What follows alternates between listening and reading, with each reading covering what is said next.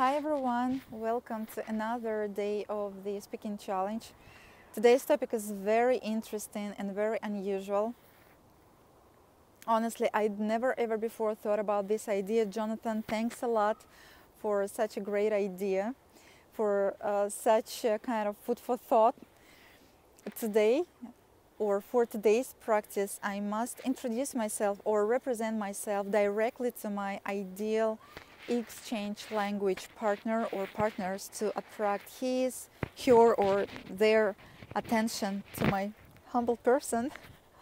First of all, I think uh, it makes sense to mention about my native language because I suppose you're very interested in learning Russian. So my native language is Russian and I can speak, I can think, I can write uh, perfectly in Russian, not only because this is my mother tongue, but also because I became twice a champion of the Russian literature and uh, language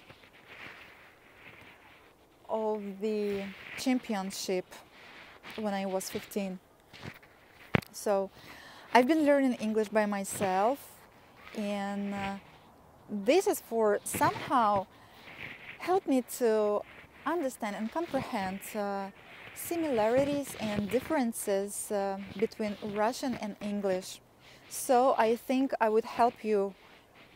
I would help you to simplify your learning process in this term, in these terms, right?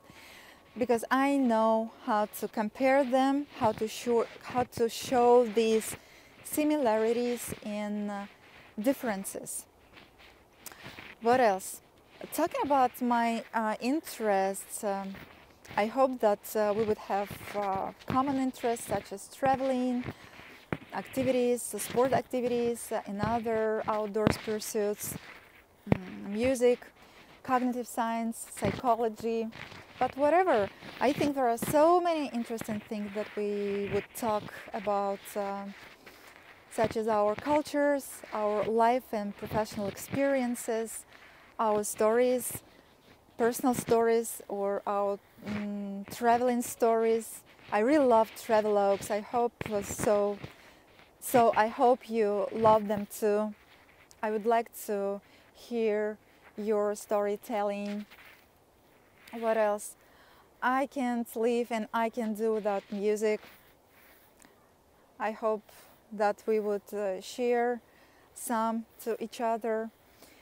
And honestly, I have a, some problems with the colloquial English, and I need someone who would help me to implement more phrasal verbs uh, in my daily um, in my daily English speaking or to make my speaking more colloquial. Because I think my style of the speaking practice um, kind of different uh, from um, from how native speakers speak English. And also I don't know if I should talk about that, but to say honestly, um, I've been thinking about um, how it would be how it would be cool to find a mentor who would help me to with uh, achievements uh, my language goals or my goals that related to directly related to language Perhaps I would be your Russian coach or tutor as well.